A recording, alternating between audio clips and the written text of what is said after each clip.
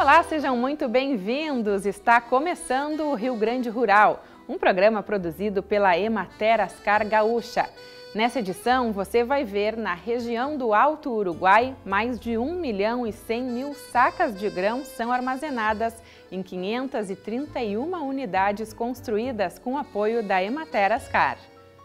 Em Ernestina, o terraceamento avança com o apoio da Emater Ascar, promovendo a conservação de solos e água. Na dica técnica, como fazer o manejo pré-parto do rebanho ovino. Curso de Avicultura Colonial capacita produtores em Canguçu. Modelando sentimentos, merendeiras aprendem a fazer receitas que têm as cores das nossas emoções. E na receita da semana, nós vamos apresentar para vocês a receita do bolo de cenouras sem açúcar e sem farinha de trigo. Uma opção extremamente saudável para crianças e adultos de todas as idades.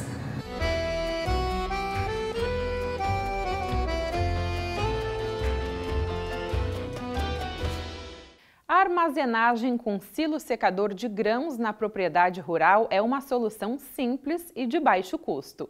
O sistema proporciona muitas vantagens para o produtor. Na região do Alto Uruguai, mais de 1 milhão e 100 mil sacas são armazenadas em 531 unidades construídas com o apoio da Emater Ascar. Todas elas identificadas e cadastradas com coordenadas geográficas. Buscando o aproveitamento máximo da propriedade e agregar valor, tornando a unidade produtiva autossustentável. Assim, a família Lângaro, do município de Sertão, na região do Alto Uruguai, optou pela armazenagem de grãos como soja e milho. Há quatro anos, a família trocou a criação de aves de matriz pela criação de bovinos de corte e ovelhas. A estrutura dos dois pavilhões antes utilizada como granja, foi aproveitada para abrigar os silos armazenadores e na proteção dos animais. Na condução das atividades estão pai e filho, seu Miguel Lângaro, de 69 anos, e Lucas, de 36 anos. Seu Miguel, quando o senhor optou pra, por essa troca, deve ter sido um momento meio assim de pensar, repensar a propriedade, né? Ah, e, e, de, como é, e tra, trabalhando hoje com lado, ao lado do filho, né, que retornou para casa. Foi, foi difícil essa opção e hoje o senhor está vendo as vantagens, né? Ah, Acho... sim, foi difícil porque a gente estava numa, numa cultura que nem ali, né, de ave, e de repente tocar parar e a estrutura aí montada e daí foi meio, Mas meio o senhor complicado. tomou a decisão certa. É. Daí depois comecemos a pensar e daí junto com o Lucas de transformar em, em fazer esse silo e transformar em, em outras coisas, porque uhum. não tinha mais como a gente mexer para uhum. continuar com as aves. O uhum. custo era muito alto. A decisão foi difícil, mas seu Miguel contou com o apoio e trabalho do filho, que decidiu pela sucessão familiar. Lucas tem mais duas irmãs. A gente veio analisando uh, o que, que, era a demanda, principalmente uh, os nossos desafios. Como a gente mora mais distante do comércio, mais distante da, dos cerealistas e tal, a gente pensou de ter todo o, o, o planejamento voltado à economia, de, principalmente logística, né? E tanto uh, logística para nós levar o produto in natura, como trazer farelo, trazer ração e coisas. Daí a gente resolveu agregar tudo dentro da propriedade usando a estrutura que a gente já tinha. Nos últimos dois anos, no pavilhão também foi instalado um equipamento usado na produção do farelo e óleo. O farelo é usado na própria ração consumida pelo rebanho. São produzidos 200 quilos de ração usada na alimentação no rebanho de 98 cabeças de gado de corte e 50 de ovelhas. O excedente de farelo e óleo usados na produção da ração são comercializados para vizinhos e para fábricas de terminação de gado de corte e suíno. Ao contrário da família Langro, que reaproveitou a infraestrutura de granja utilizada na criação de aves, a família Tamanto, da comunidade de Linha Caçador, também de Sertão, está construindo as instalações com dois silos, Cada silo tem capacidade de armazenar 3 mil sacas. O produtor Altair Tamanto conta com o apoio do filho Lucas, de 19 anos, acadêmico do curso de agronomia. A família trocou a atividade leiteira em 2021 para se dedicar à produção de grãos. Seu Altair, o que, que levou o senhor a investir na, na armazenagem na propriedade? Ah, foi para ter mais segurança no, no, no, grão, né? Daí tem ele armazenado em casa, daí passa ele para limpeza, sobra o resíduo. E também para mais segurança, que ganha mais também quando vende, né? É mais ou menos isso Mantém aí. Mantém a qualidade do isso, grão, né? qualidade também em primeiro lugar, né? Uh, e o senhor tá, investiu já numa infraestrutura em silos grandes já, é pra, de acordo com a sua propriedade, né? Isso, é para ser com o que a gente colhe na lavoura para tentar guardar tudo em casa. Não basta só construir os silos. Para ter as vantagens que o sistema oferece, também é importante que o produtor tenha conhecimento e siga práticas de manejo. O senhor uh, se preparou também para esse momento tecnicamente, né? Você participou de algum curso? Sim, fomos junto com o pessoal da Emater, foi feito um curso lá em Erechim sobre armazenagem. As duas famílias contam com apoio e assessoramento técnico na elaboração dos projetos da Emater RS Ascar. O município de Sertão tem mais de 100 mil sacas armazenadas em propriedades. O município é essencialmente agrícola. Sertão é a terra das altas produtividades agropecuárias. Ah, no município, no município está situado no, na região do Alto Uruguai, é o município que mais tem grão armazenado. Então, o, o trabalho do escritório da Emater no município de Sertão, na parte da armazenagem, é muito importante. Por quê?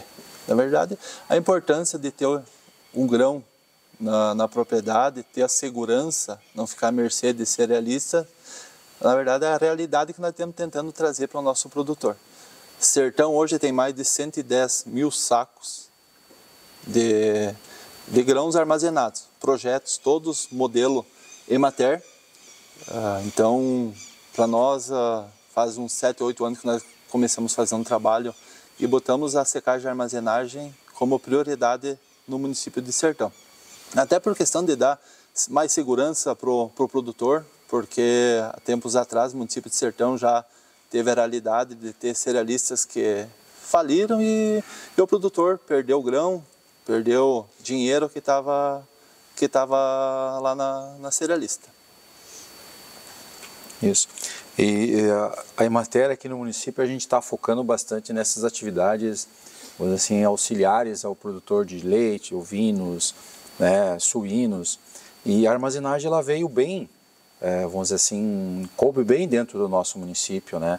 Hoje a gente está conseguindo, vamos dizer assim, uh, muitos produtores estão fazendo silos para secar, armazenar na propriedade. Né? Como o colega falou, está agregando bastante valor. Né?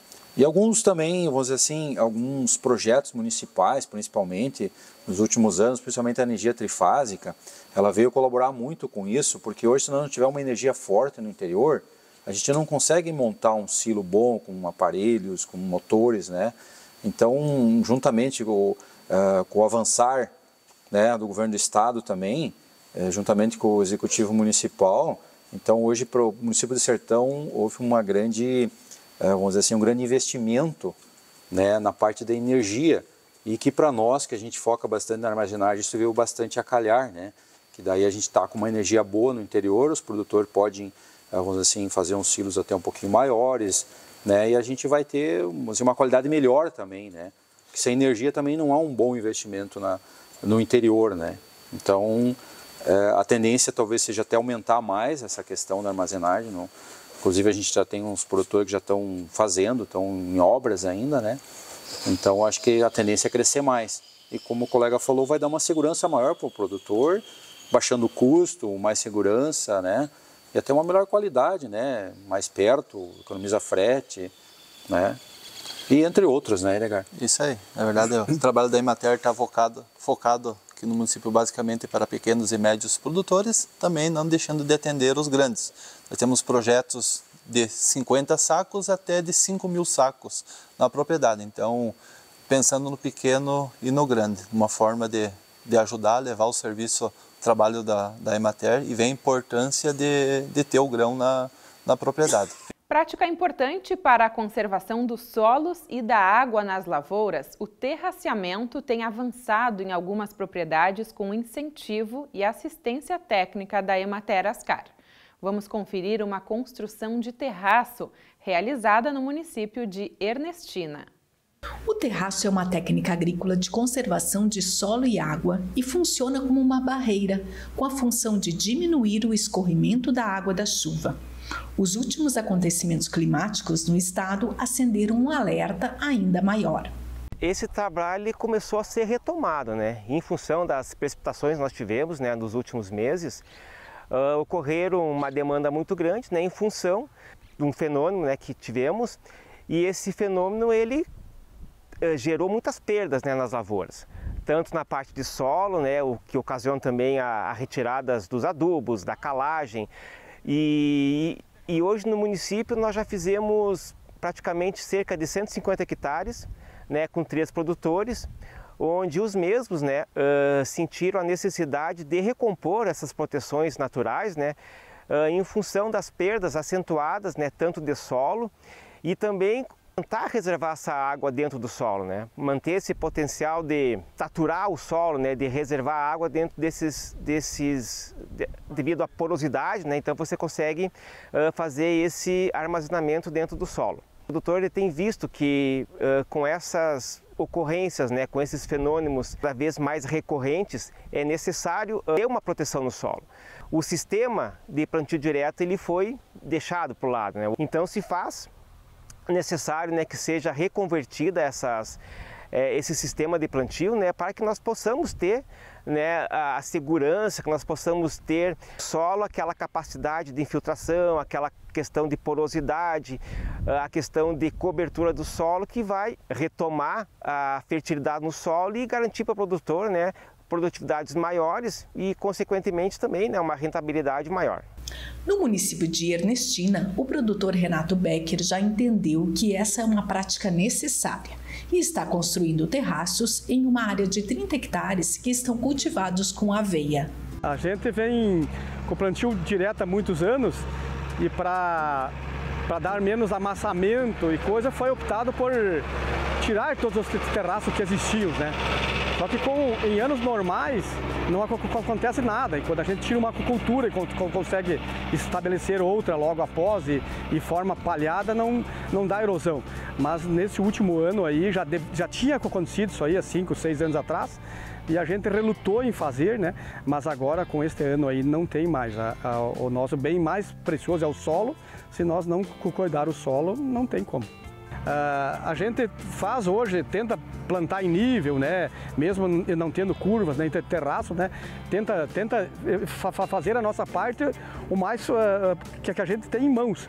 Mas mesmo assim, quando dá uma, uma tromba d'água e pega naquela parte mais complicada, após a colheita, que você vai implantar outra cultura, tirou a soja, vamos dar um exemplo, e pôr uma, uma aveia, um triticale, uma aveia preta, ou, ou posteriormente um trigo, é nesse meio tempo aí que corre muito o risco de, de, de, de dar erosão. A gente marcou dois terraços lá no alto da cocochilha, para tentar segurar a água lá. Marcamos dois. Após mais 100 milímetros, aqueles dois lá ficaram ótimos, a gente optou por fazer mais um aqui, que é onde tá, ainda estava correndo água. O terraceamento tem um papel importante na recarga do lençol freático, pois ajuda na infiltração da água no solo.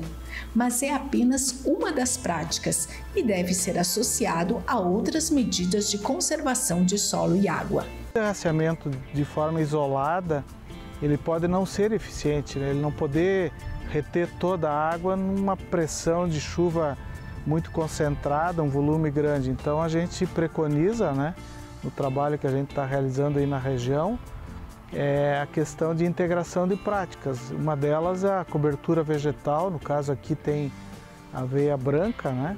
plantio em nível, a descompactação do solo, né? a escarificação, né? buscando a descompactação. Então a integração dessas práticas vai ter uma eficiência bem maior né, para evitar os problemas que estão ocorrendo aí no cotidiano, com áreas praticamente sem cobertura, né, sem terraceamento. E esse ano se agravou mais ainda pelo volume intenso de chuvas, né? então ficou muito visível e isso causou e vai refletir no futuro prejuízos com o que tem de mais valioso que é o solo. Né? Fica o conselho de produtor para produtor. E eu aconselho, se é para dar um conselho que todos os agricultores pensem muito bem. Se é para todo ano nós estar tá fechando uh, valas no meio das lavouras e daí ter que, ter que corrigir no, novamente, o custo é muito alto. Então temos que proteger as áreas que, que nós temos aí.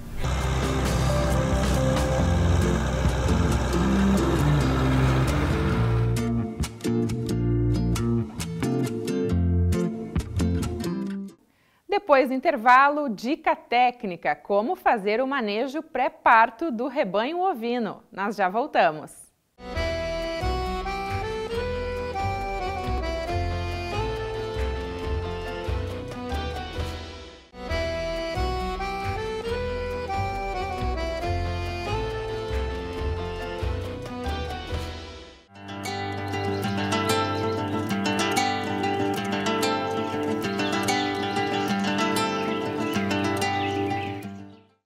Preparar as ovelhas para o parto é fundamental para garantir a saúde das ovelhas e dos cordeiros e melhorar a eficiência do rebanho.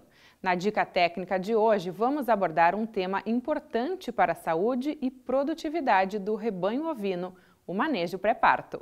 Nós vamos falar hoje da importância do manejo pré-parto do rebanho ovino. Como a gente pode ver, então nessa época do ano nós temos que ter extremos cuidados com o rebanho a parir. Isso já começa meses antes do previsto. Né? Alguns produtores usam o manejo também da esquila pré-parto. A esquila pré-parto ela visa fortalecer o nascimento dos cordeiros, nascer um cordeiro mais forte, principalmente pelo fortalecimento da placenta. Esse é o manejo que alguns produtores faz, fazem, que é esquilar os animais 60 dias antes do parto. Alguns que 60 dias, outros 30 dias. Nós temos que ter o cuidado, no, principalmente no manejo nutricional da matriz, no terço final. A ovelha tem cinco meses de gestação. O último terço é fundamental, onde o cordeiro dobra de, de peso no útero materno. Então nós temos que ter extremos cuidados com a alimentação nesse período. Esses cuidados no manejo pré-parto, principalmente na questão de energia, porque é uma época, como vocês podem ver, que o nosso campo nativo ele está com uma deficiência de forragem, né? A gente teve períodos de frio intenso, né, chuvas e frio, e temos uma deficiência na, na condição do combinativo. Então a gente tem, sempre tem que estar atento para suplementar o rebanho para ter o nascimento de um cordeiro mais forte. Esse manejo é importante e ele continua no parto. Temos que ter cuidados com os recém-nascidos, né? Se o produtor tiver condições de fazer um abrigo para aparição, principalmente nos dias de chuva, frios e com chuva, ter o abrigo para trazer o rebanho que possa parir em boas condições, né? E esse cuidado, então, se a matriz estiver bem alimentada no último terço, esse cordeiro vai nascer forte, que é o que a gente quer nos primeiros meses. Para nascer forte, ter um bom desenvolvimento, nascer com peso adequado para cada raça que existe. Então, aqui, por exemplo, nós estamos vendo a raça ideal, esse rebanho que vocês estão vendo aí que está que tá em, já em plena aparição. Nós estamos no mês de julho e está em plena aparição. E eu vim comentar a respeito de algumas práticas do manejo pré-parto que é importante o ovinocultor se ater. A primeira delas é pelo menos 30 dias antes da aparição, do período de aparição, a vacinação para clostridioses. A clostridiose, clostridiose é um grupo de doenças, dentre elas o tétano, a gangrena gasosa, a mancha, a hemoglobinúria bacilar, o botulismo. É um grupo de doenças bacterianas de contaminação ambiental que o rebanho ovino está propenso. E a gente combate essa doença principalmente é na prevenção. E, e o, o, rebanho, pelo menos de 21 a 28, 30 dias, eles têm que ser imunizados, porque o tipo de placentação das ovelhas, eles não permite que durante a gestação exista a troca de anticorpos da mãe para o feto. Então, o cordeirinho ele nasce desprovido dessa defesa. E como esse rebanho ele já vai ser junto, já vai ser reunido perto das casas para o manejo da clostridiose, também a gente faz a revisão dos cascos dessas ovelhas, porque é inverno, existe umidade, existe a possibilidade das, das doenças de casco, como o foot-root, como a frieira, que são doenças transmissíveis também. E se já vamos juntar um rebanho para fazer o manejo da vacinação, o manejo preventivo, vamos prevenir também as, as, as doenças de casco, como principalmente o foot-root. Se faz também, como a gente pode ver, o acompanhamento das fêmeas de manejo parasitário, que é muito importante nessa época.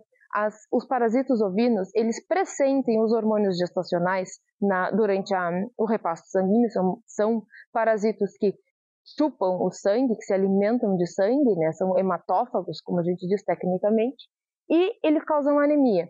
Quando eles fazem esse repasto sanguíneo, a gente tem, eles pressentem ah, na corrente sanguínea da, da mãe, da futura mãe, os hormônios gestacionais e eles aumentam consideravelmente a ovoposição, ou seja, aumentam a contaminação ambiental para também parasitar futuramente aquele indivíduo que está para nascer. Então, o manejo parasitário, o, o, mane o controle parasitário uh, estratégico, ele está baseado também nessa fase. Por isso que os manejos, os manejos pré-parto, eles são tão importantes, tanto para garantir a criação com sucesso do cordeiro, como para garantir as futuras gerações que essa fêmea ela não vai enfraquecer e ela vai ciclar numa próxima, numa próxima estação reprodutiva com sucesso e a gente vai ter um ou mais cordeiros.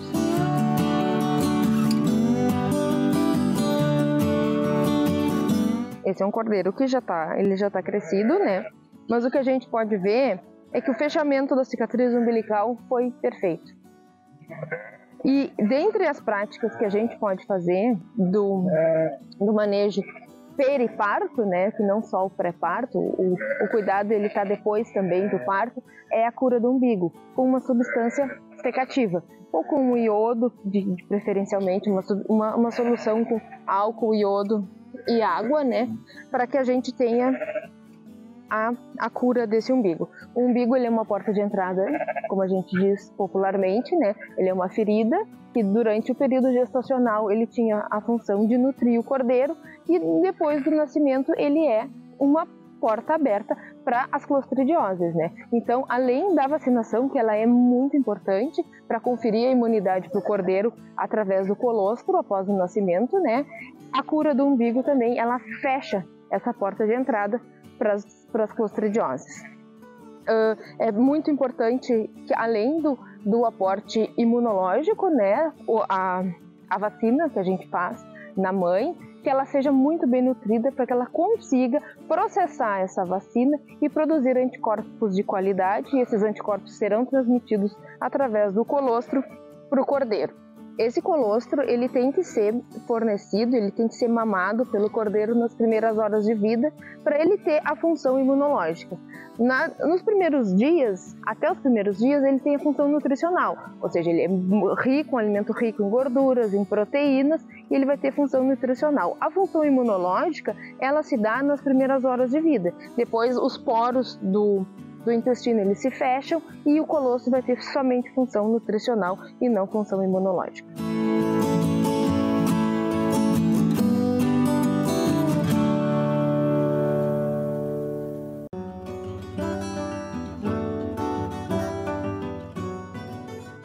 O auditório da Faculdade de Medicina Veterinária da Universidade de Passo Fundo será a sede do Seminário de Irrigação, o evento acontece no dia 16 de agosto, a partir da 1h30 da tarde, em Passo Fundo. No próximo bloco, o curso de avicultura colonial capacita produtores em Canguçu. A gente já volta.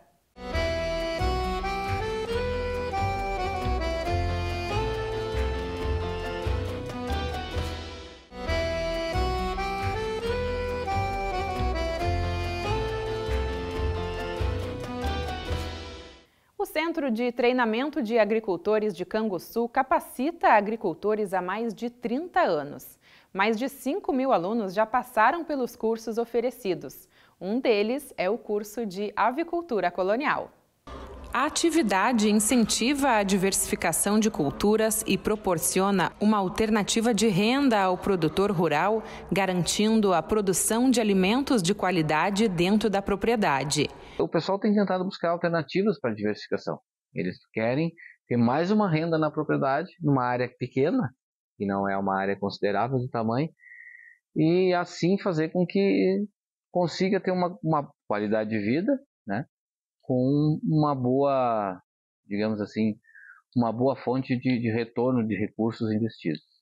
O curso é promovido pela Emater RS Ascar em parceria com Embrapa e Escola Técnica Estadual de Canguçu, com apoio de outras entidades. Embrapa, Emater e a ETE, que é uma grande parceira nossa, mas também temos instrutores de outras entidades, inclusive profissionais liberais, temos ex-professores do IFE, um ex-professor do IFE que trabalha e palestra no curso, um excelente conhecimento, aí um professor com 40 anos de, de experiência na área da agricultura, temos profissionais liberais, colegas nossos da Emater, então nós temos, é uma rede, nós diria pra, que são mais de 10 instrutores e algumas propriedades parceiras nossas também, tanto na área da avicultura de corte quanto na postura.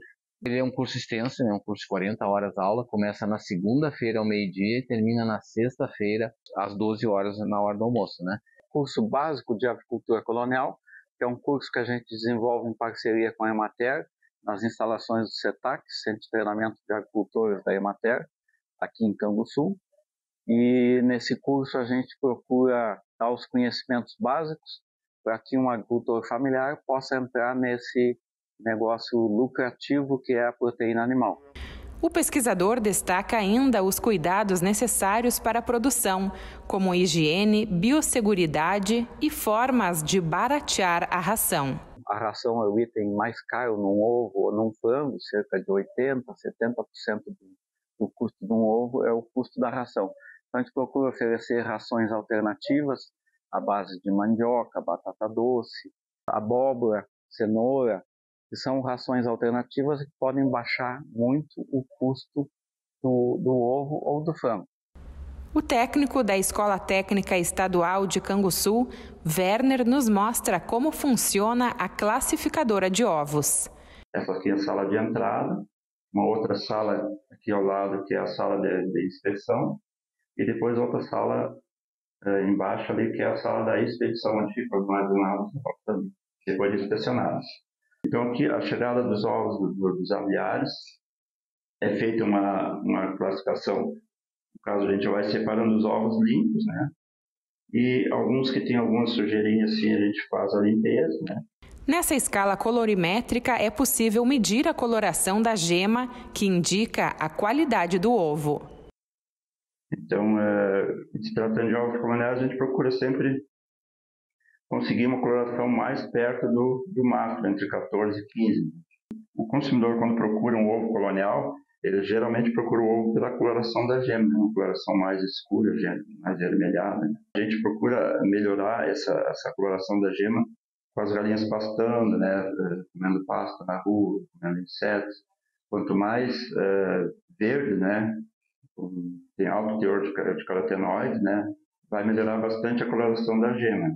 Depois é feita a inspeção dos ovos, no ovoscópio, que funciona como uma espécie de raio-x do ovo. Aqui a gente vê se o ovo está tá galado, se o ovo tem, tem alguma mancha de sangue, se tem alguma calcificação, às vezes que acaba entrando para dentro da casca do ovo. Realizado de uma a duas vezes ao ano, a última edição do curso contou com 23 participantes de diversos estados do Brasil e até do Uruguai, mostrando o alcance e a importância desse programa na formação de novos produtores. Luca é estudante do Uruguai e veio participar do curso em busca de conhecimento. Nós vimos com os companheiros para aprender sobre a avicultura colonial, colonial é, já que é do nosso interesse é, esse modelo de produção que é mais é, mais concorda mais com a agricultura familiar que é o, o, o objetivo do, do, nosso curso.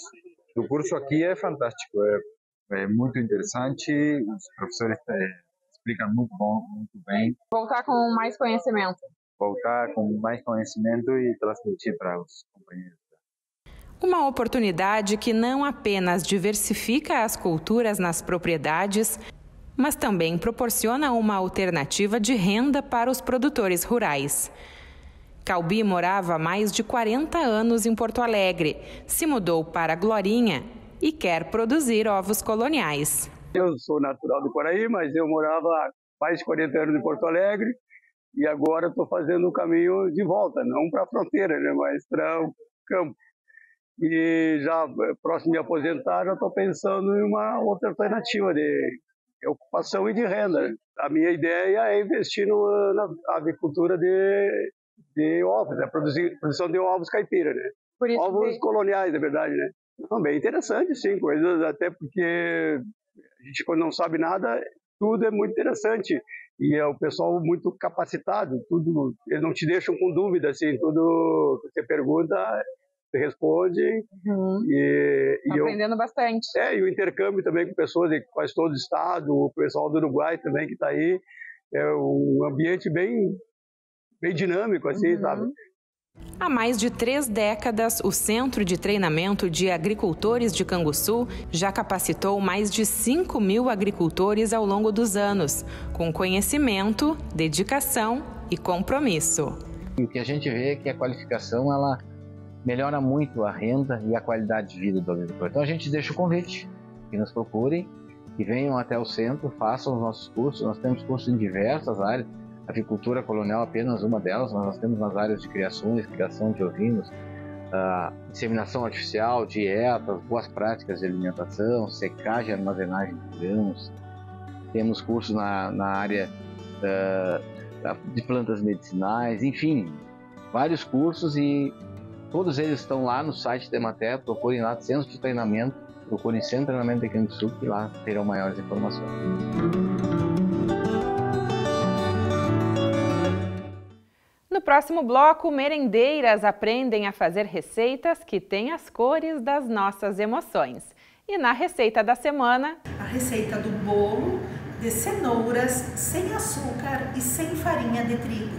Uma opção extremamente saudável para crianças e adultos de todas as idades.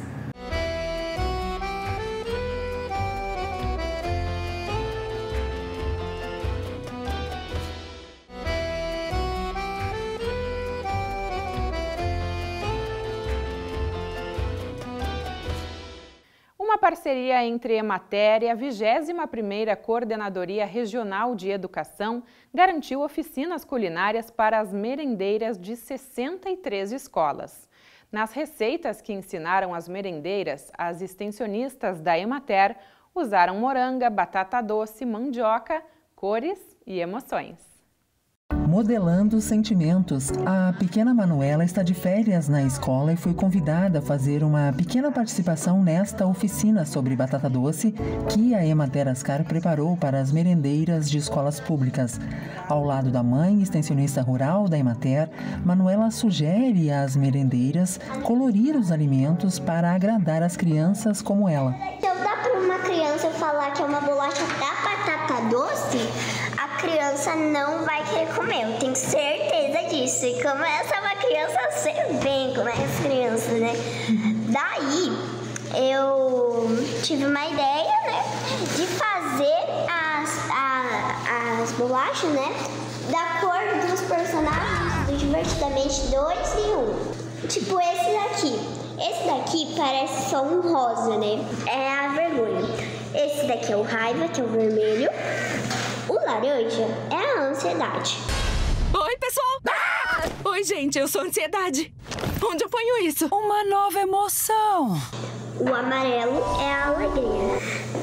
O verde é a nojinho, que é uma expressão do nojo. O verde água, né, é a inveja. E o azul, né, a tristeza. Esse daqui é roxo fraco. E sabe o que, que quer dizer? Quer dizer tédio. Sem tédio, hora de botar a mão na massa.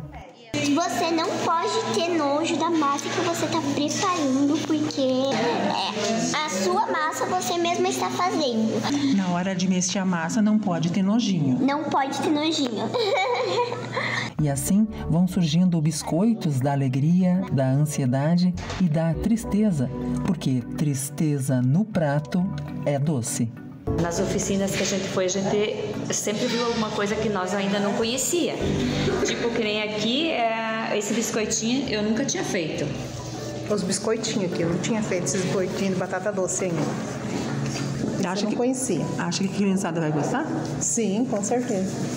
Batata doce rica em carboidrato, fibras, proteínas e vitaminas. Mandioca, fonte de energia e imunidade. Abóbora cabotiá, de sabor doce e textura cremosa, rica em vitaminas, minerais e fibras. Alimentos da agricultura familiar que estão na base da alimentação das crianças que estudam, especialmente nas escolas localizadas em áreas indígenas. Nós convidamos a Emater né, para dar esse curso para as nossas de formação para as nossas merendeiras, com o objetivo de elas terem algo a mais na alimentação dos nossos alunos, né, receitas novas que eles podem ocupar, tipo na área indígena, que é as comidas é a base de mandioca, de abóbora, cabotiá e de batata doce. ah, que eles tenham um cardápio diferenciado, que as crianças gostem e que seja uma alimentação saudável. Nós, enquanto Emater, então, a nossa prioridade é a produção, né? A gente trabalha lá na ponta com os agricultores a produção e nos projetos, então, do PENAI, que é o Programa Nacional de Aquisição da Merenda da- dos Alimentos da Agricultura Familiar. Então, a gente buscou algumas receitas para aproveitar esses alimentos de uma melhor forma para utilizar na merenda, buscando com isso, então, aumentar o consumo e a produção. Né? O PNAE, Programa Nacional de Alimentação Escolar, determina que 75% dos alimentos servidos aos estudantes nas escolas públicas sejam in natura ou minimamente processados. A gente veio trabalhar com as merendeiras ah, sobre a alimentação escolar, falar do programa de alimentação, como ele funciona, quais são as regras e mostrar para elas o quanto é importante o trabalho delas enquanto influenciadoras, que elas não só preparam os alimentos como e servem os alimentos, elas colocam, elas colocam amor naquilo que elas estão fazendo. Foi muito produtivo porque a gente aprendeu muito como utilizar e reutilizar né, coisas que são do nosso cotidiano, né, como a mandioca, a batata doce, são coisas que a gente tem acesso lá, né? Então, ela tem várias formas diferentes de passar para os alunos. Qual que tu gostou mais? Ah, teve a forma como foi feito o nhoque da batata doce, foi uma coisa nova, né? E eu acredito que os alunos vão gostar muito lá na escola. E também da moranga, que é uma coisa que crianças geralmente têm mais dificuldade de gostar. Nem vão perceber que é da própria moranga, né? Maravilhosas, toda receita nova que a gente não sabia, aprendeu aqui, vai tentar fazer nas escolas, que é tudo receita que vai ser bem aproveitada. Outro ingrediente fundamental para quem prepara alimentos, a higiene, também foi assunto da capacitação. Nós vamos trabalhar boas práticas na, na manipulação de alimentos. Então, o que eu quero deixar para elas são os cuidados, a higiene e a forma como vão ah, servir esses alimentos, né? Com amor, carinho e toda a parte de alimento saudável. Mais de 100 profissionais, em sua maioria merendeiras da Rede Municipal de Ensino de Marau, participaram no mês de julho de uma capacitação em alimentação, ministrada pela Emater Ascar. As oficinas fizeram parte da programação do 8º Fórum Internacional de Educação. Confira como foi e aprenda uma das receitas ensinadas, o bolo de cenoura sem açúcar. Há cerca de sete anos, a Emater Ascar realiza oficinas de alimentação para as merendeiras da Rede Municipal de Ensino de Marau, sempre com foco na segurança alimentar e nutricional. A atividade de hoje, então, ela faz parte do oitavo Fórum Internacional de Educação. Ele é realizado a cada dois anos, né, e tem o objetivo de capacitar todos os profissionais da área da educação. No turno da tarde, os profissionais eles se dividem em áreas específicas. Então aqui na escola Frei Wilson João a gente tem o, as serventes, né? O cargo delas é serventes, elas são merendeiras de cozinha. E o objetivo é ampliar né, o conhecimento, também atualizar os conhecimentos em todas as áreas da educação, inclusive uh, relacionado à alimentação escolar. Né? A gente sempre procura trazer novidades, receitas, né? e através do trabalho das oficinas da Imater, a gente busca trabalhar os alimentos da melhor forma possível. Às vezes um alimento que a gente pretende introduzir no cardápio. A gente busca então uma receita inovadora, algo assim, até mesmo um produto, um alimento que a gente tem um pouquinho de dificuldade para inserir ali no cardápio escolar e a gente percebe a importância dele. Então a gente trabalha ele através dessas oficinas e o propósito depois é incluir esta receita no cardápio escolar. Devido às atualizações que teve na resolução, que foi em 2020, a última atualização, algumas normas se estabeleceram, como por exemplo, proibição do açúcar para o cardápio infantil. Então a gente tem que buscar uma receita de um bolo doce mas que não tem açúcar, que é o caso que a gente vai trabalhar esse ano. Neste ano, além de abordar sobre os benefícios dos alimentos, as extensionistas ensinaram as receitas de massa com abobrinha italiana, muffin de espinafre, risoto de carne suína e bolo de cenoura sem açúcar. São alimentos saudáveis e nutritivos, preparados de forma que conquiste o paladar dos alunos. A cada capacitação, a gente descobre coisas novas que a gente nem imaginava. Uh, vamos supor, um reaproveitamento de um, de um, alimento, ou que fazer sem usar açúcar, porque agora a Pindai cortou praticamente zero açúcar. Então, esses cursos nos motivam muito, até para nós levarmos para casa. Pode sim ser feitas coisas sem açúcar, pode sim ser substituído o açúcar por uma fruta no bolo. Vamos supor, fazer um bolo, põe uma fruta cristalizada em vez do açúcar e as, as, os aproveitamentos que eles fazem com todo tipo de alimento.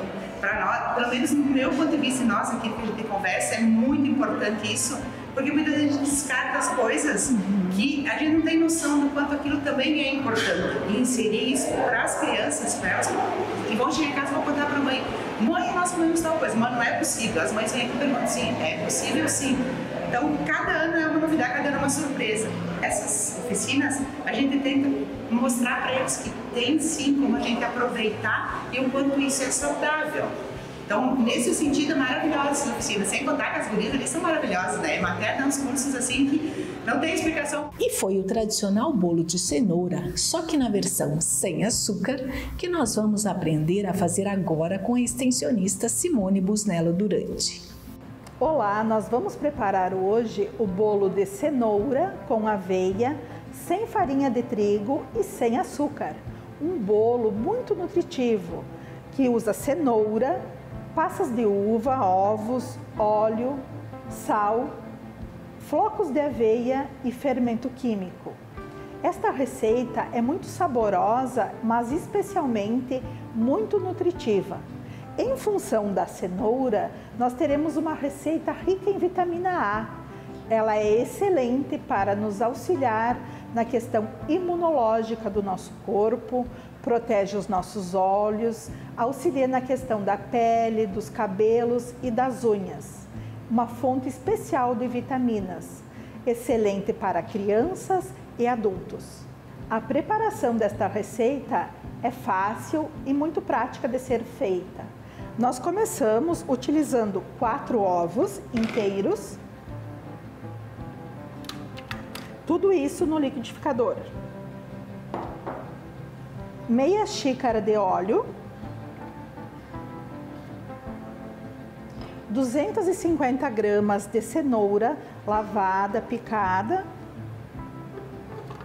in natura. Tudo isso no liquidificador. Colocamos também uma pequena pitadinha de sal. Uma xícara de uvas passa brancas. Batemos tudo isso muito bem no liquidificador. O segredo desta receita é bater por no mínimo 3 minutos estes ingredientes, para que o bolo fique com um sabor mais adocicado pelo açúcar presente nas uvas. Este é o segredo desta receita. Vamos bater?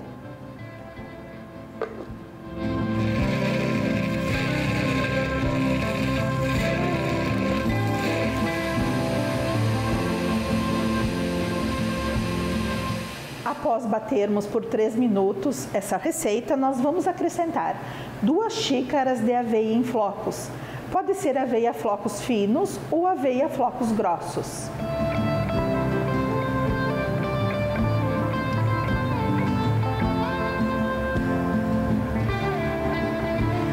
Voltamos a bater tudo novamente.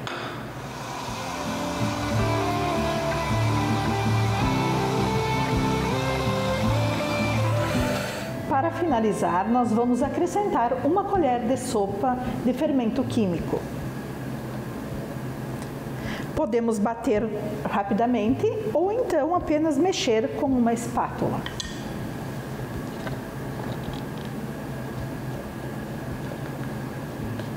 Misturando tudo suavemente. Após misturarmos o fermento, nós despejamos em formas no formato cupcake, lembrando sempre que esta receita rende aproximadamente 24 unidades.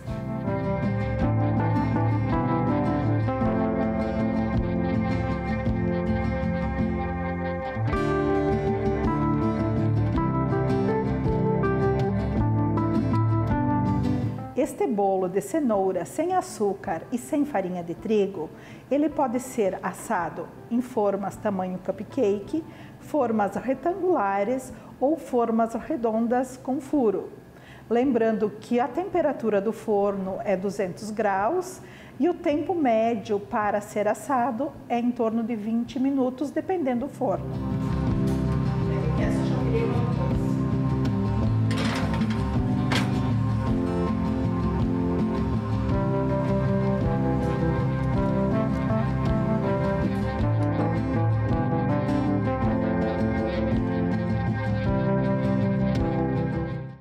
Obrigada, Simone, por nos ensinar a receita do bolo de cenoura sem açúcar, uma opção mais saudável para o nosso dia a dia com esse bolo que é uma delícia. Se você tem alguma pergunta ou sugestão de reportagem ou receita, envie para a gente através do QR Code ou pelo número que aparece aqui na tela.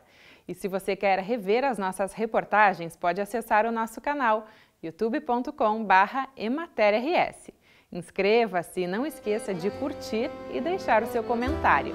E assim nós encerramos essa edição do Rio Grande Rural. Muito obrigada pela companhia de sempre e até o próximo programa. Tchau, pessoal!